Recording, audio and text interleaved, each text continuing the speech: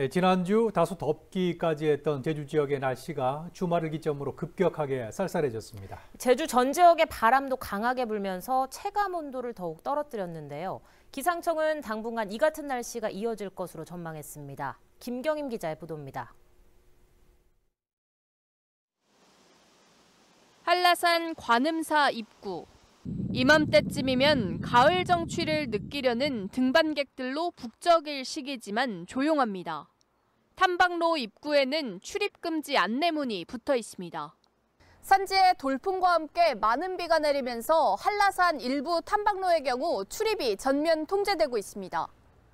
제주 전역에 강풍특보가 발효된 가운데 한라산 삼각봉에서 순간 최대 풍속이 초속 28.4m, 성판악에서 초속 25.1m를 기록하는 등 곳곳에 강한 바람이 불었습니다.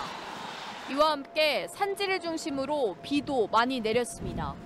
덥고 습한 공기와 찬 공기가 만나 대기가 불안정해지면서 어제부터 산지에는 150mm가 넘는 강수량을 기록했고 해안 지역에도 40mm 안팎의 비가 내렸습니다.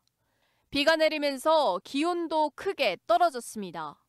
한동안 저기압의 영향으로 고온다습한 공기가 유입되면서 지난 3일에는 성산 지역 낮 최고 기온이 27.3도까지 오르며 11월 최고 기온을 경신하는 등 더운 날씨를 보였지만 북서쪽에서 찬 공기가 내려오면서 기온이 큰 폭으로 떨어져 오늘 낮 최고 기온은 20도 안팎에 머물렀습니다. 특히 흐린 날씨 속에 바람이 강하게 불어 체감 온도를 더욱 떨어뜨렸습니다.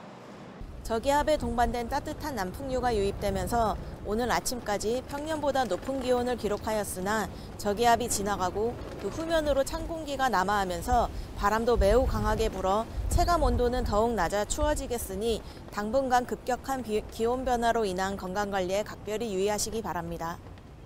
기상청은 당분간 낮 기온이 18도 안팎으로 다소 쌀쌀한 날씨가 이어질 것으로 전망했습니다. KCTV 뉴스 김경임입니다.